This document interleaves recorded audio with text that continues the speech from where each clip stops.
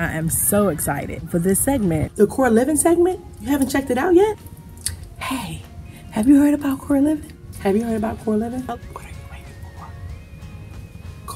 Hello, everybody. Hopefully, you are enjoying your day thus far. My name is Melanie, and you are watching Core Inspirations, a channel designed with social work students and professionals in mind.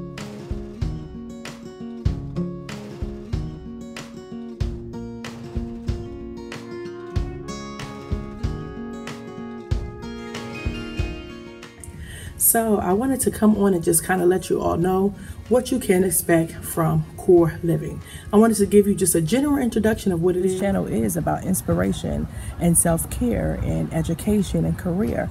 And I share all of that on this channel. But the Core Living segment is to really dive deep within what it means to have progressive and ongoing self-care. Core Living helps you do your work. We're going to be talking and tackling topics that you personally may have, you know, not really had a lot of conversations around, but we're going to talk about it. We're going to be having some educated discussions, but I really, truly, truly would love if the engagement is really, really interactive because I want to be able to have a support, a place of support.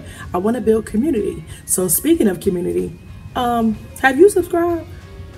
Because if you haven't subscribed, then you are hindering us from like, you know, like growing like a social work job.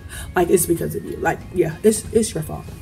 It's your fault. Subscribe to help us grow our social work tribe. Within the talks and topics that are going to be covered here within the core living segment, it's all about living from your core.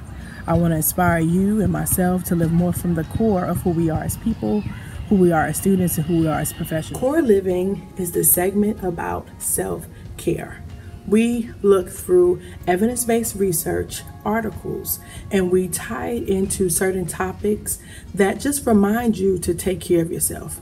Because you already know, as social workers, we give so much of ourselves, so much of our time, so much sacrifice, so much of who we are into the work that we do.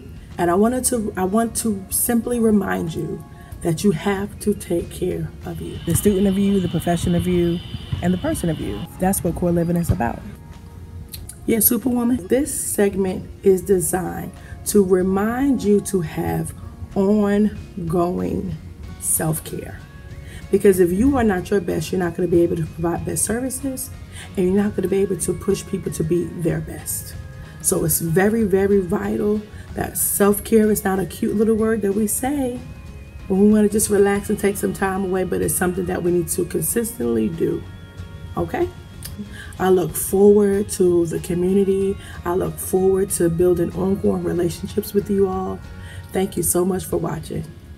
Have a good day.